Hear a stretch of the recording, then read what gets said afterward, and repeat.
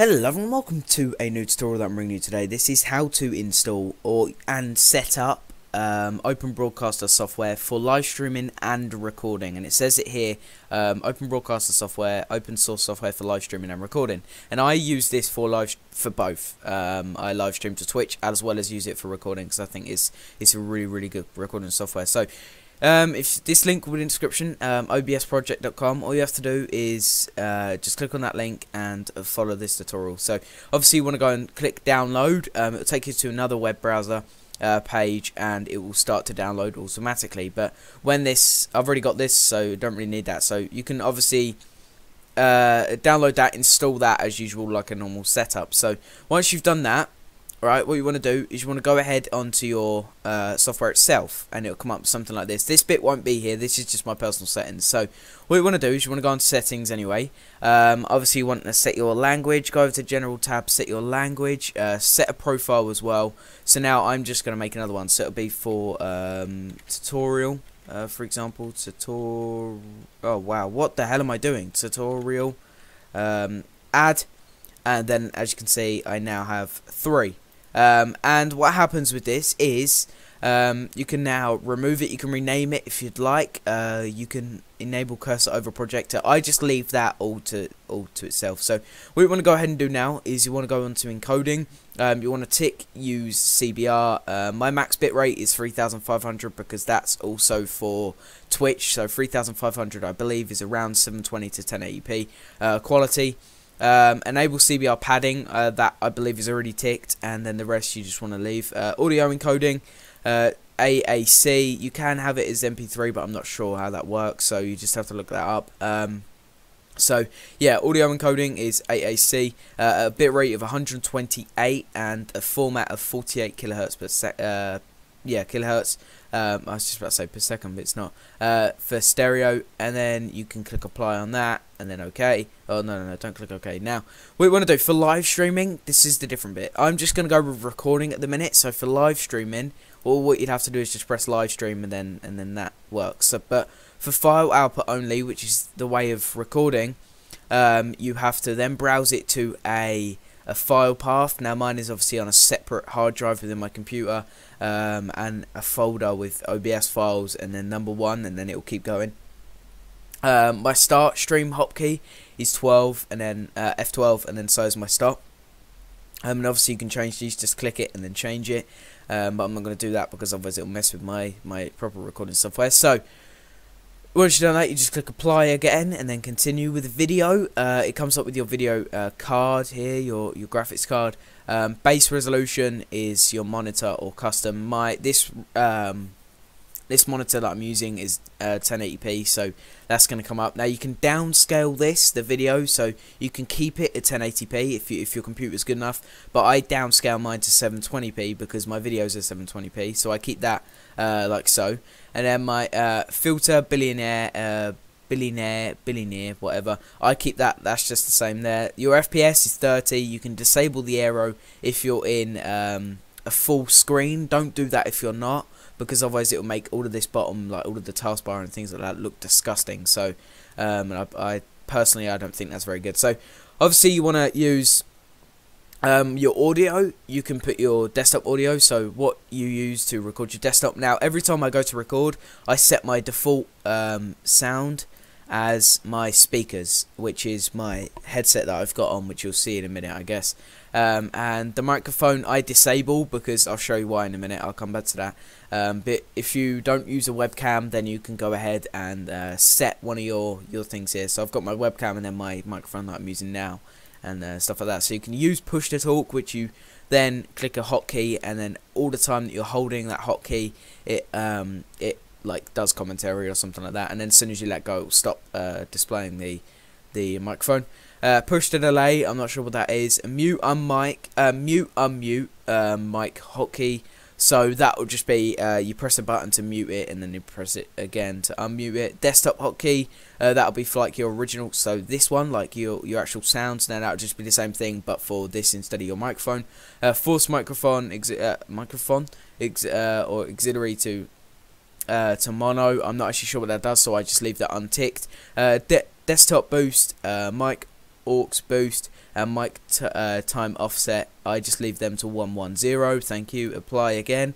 Going to advanced um, now using multi-thread options op optimization sorry. If you have a either like a dual core or a quad core um, processor then go ahead and tick that and then you can leave your um, process priority class. You can either put it as idle which is the lowest one normal above normal or high. And the higher you see this is what how to explain if I was to put this on high right now my other games that I would to give it because the uh, this the system is then going to give it more priority over everything else um, your games may run uh, less smoothly. So I just keep it on normal and then uh, do that. So scene buffering time milliseconds just 700 disable encoding whilst uh, or while previewing. Um, I just leave that unticked. Um, allow other modifiers on hotkey. I just leave that ticked. Um, the times 264 CPU preset is very fast, um, and obviously the higher you the the um, the lower down you go, I think the bigger CPU like there you go. Setting this um, higher reduces CPU usage by sacrificing certain aspects of quality. So if you was to go on to slower, it would then make your it would kill your CPU unless you've got a really really high grade uh, CPU. So times 264 encoding profile I keep that as main uh, key keyframe interval uh, interval I believe you have to keep that as 2 if you're uh, live streaming but it should come up with that as like a warning sign before you live stream um, use CFR um, I keep that ticked. Custom encoder settings, just leave that unticked. Allow 61 to 120 FPS entry in video settings.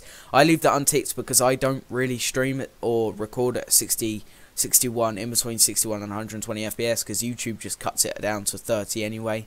Um, and Twitch does allow 60 I guess but then if you're going to use it for YouTube then it will just be cut down to 30 so it's kind of pointless on my aspect but it could be good for you.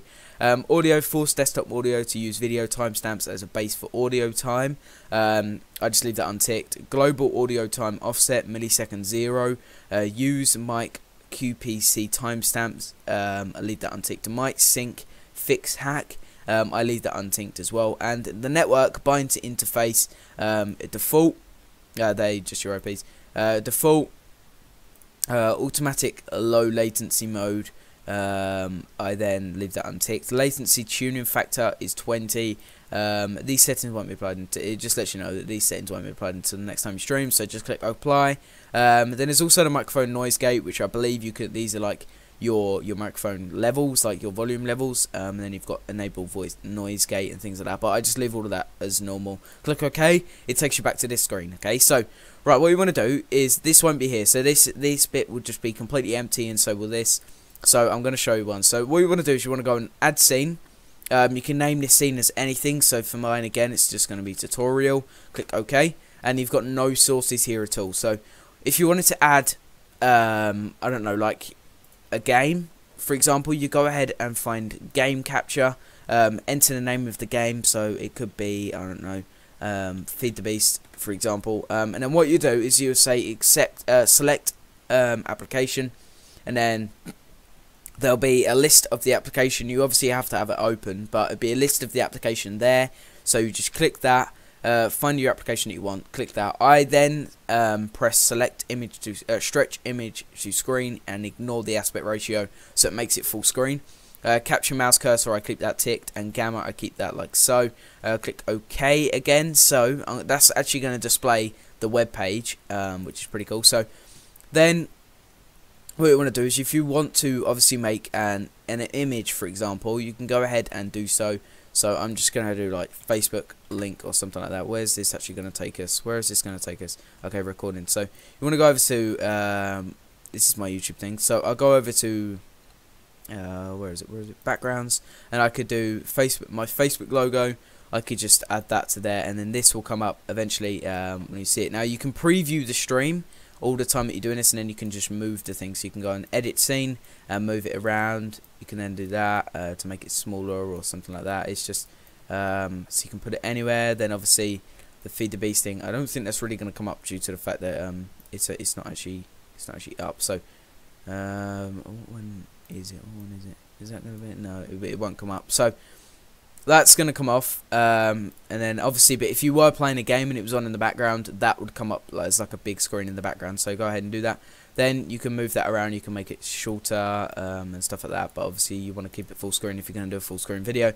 Then, um, what you want to do is you can also put links. So you can add uh, text and then you can add um, Facebook link, for example. Click OK. Uh, you can choose change the font, the font size. You can make it a bold, italic, underline, vertical, stuff like that. Um, but I just tend to make it bold because it, it's then easier to read. Um, you can use an outline. So if it's if it's a white and you're in like a white game, you can outline it black, and then it should come up a little bit better. Uh, you can use the text from files. So you can set up a file of like your link or something like that and then just use the text from there and it'll automatically come up. You just have to browse to that file.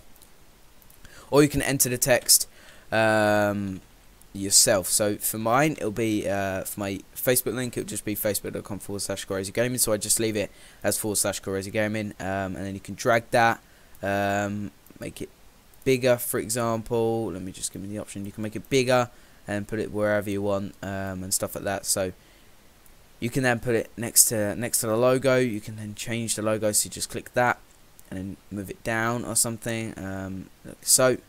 And then Karazy gaming like so like that.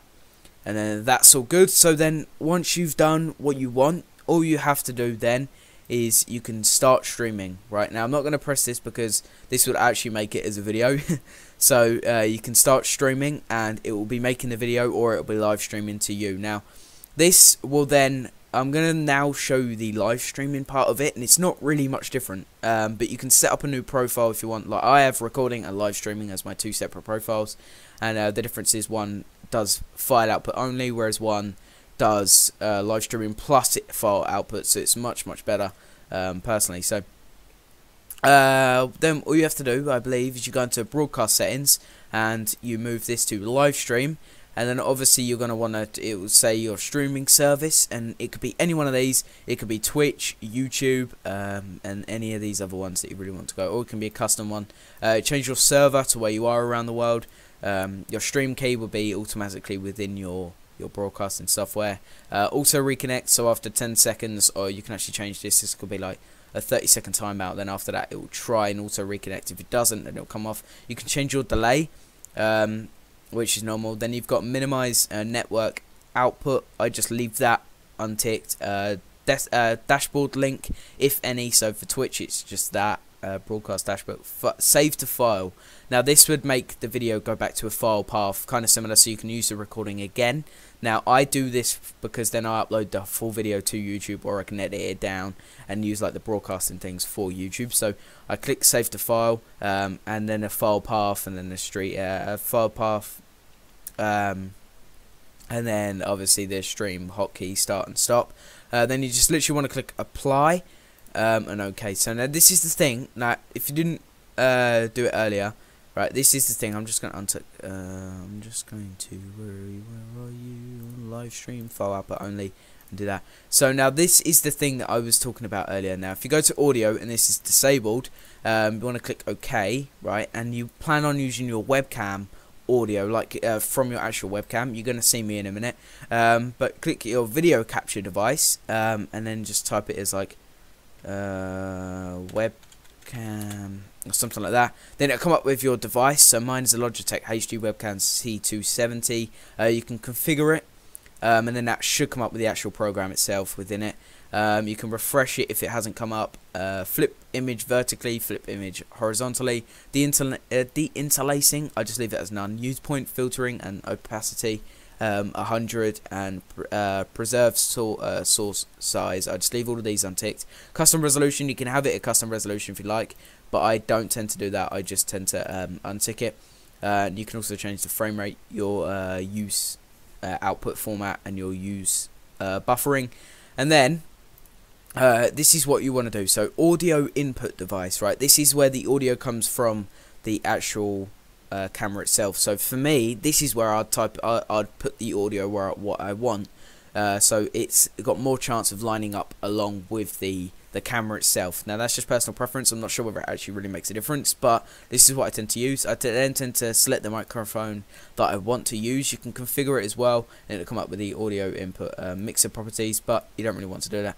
Uh, that's if you want to, I guess. Um, output audio to stream only. Um, I just leave that so. Uh, you shouldn't really need to change any of this, and then you can chroma key. I'm not sure what that is. So you click OK, and it will come up with me now if I was to press start a preview stream.